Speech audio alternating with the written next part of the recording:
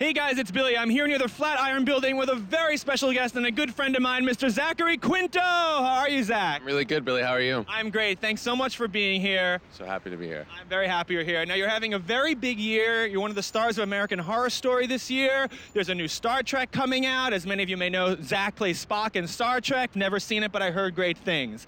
Now, how is American Horror Story this season? Tell me about that show. It's a big hit show. It's a very scary show. It looks very scary. Is it scary on set? Um, it's very scary. Very scary. I, I mean, it's a it's a concrete, basically asylum that we are in every day. So it's a little bit oppressive. It's crazy. It's crazy. It is crazy. Now, you know, I don't, I've never seen the show because you can't watch everything. That's unrealistic. But already in your career, you've worked with some amazing actors Jessica Lange, Chris Pine. Now, tell me, what is it like to work with Jessica Lange every day? Did you see her on the Emmy red carpet? She had her sunglasses. Sunglasses, yes. She can pull that off, and I, no one else can. do anybody else can. Anne Hathaway did that, I'd punch her in the vagina. I'm telling you right now. But Jessica Lange, it looks good on her. You her. got married. Are you happy for her? I'm thrilled. Remember when she was dating the CEO from the Vatican? She thought it was the CEO from the Vatican. Who wouldn't believe that? What a moron. Now, look, no, I love Anne Hathaway. I love her. I can't wait till she wins an Oscar. Are you in that movie Argo? I'm not in the movie Argo. I, did, Oh, that's too bad. What? I auditioned. Really? Didn't get it. Ben Affleck had the nerve not to cast you? My God, he did it Jennifer Lopez, for God's sake. I'm trying to smile, but um, You can't, you're, you feel upset about it'll it. be a good movie. I can't wait to see it. I'm sure it's great. Who took your role? Bryan Cranston? Ass. Anyways, all right, Zach, eh, get back into the get back into the shot.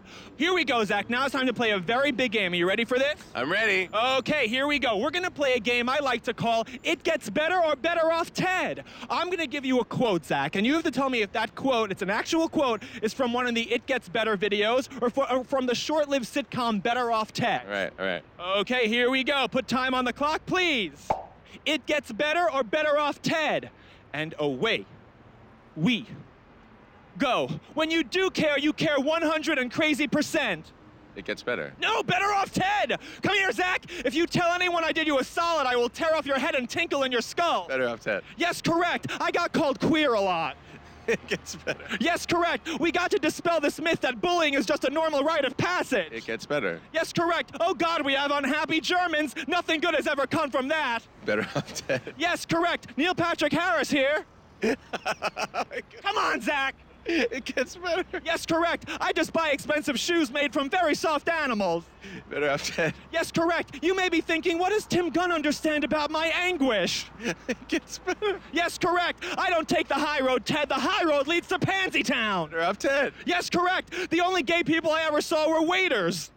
It gets better. Yes, of course, that was Andy Cohen. Oh my gosh, I have so many stories, I don't even know where to begin.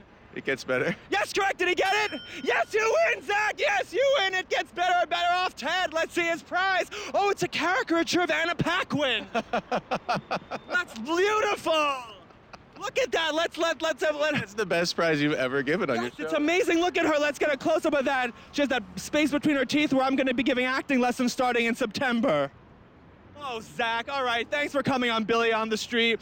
We'll watch you in American Horror Story and the new Star Trek coming out when? May 17th. Oh, who cares? All right, fine. It really does get better. Oh, it does. It does get better. It gets better. What's it called? Star Trek Into Darkness or something? Darkness, yeah. Okay, yeah. Great.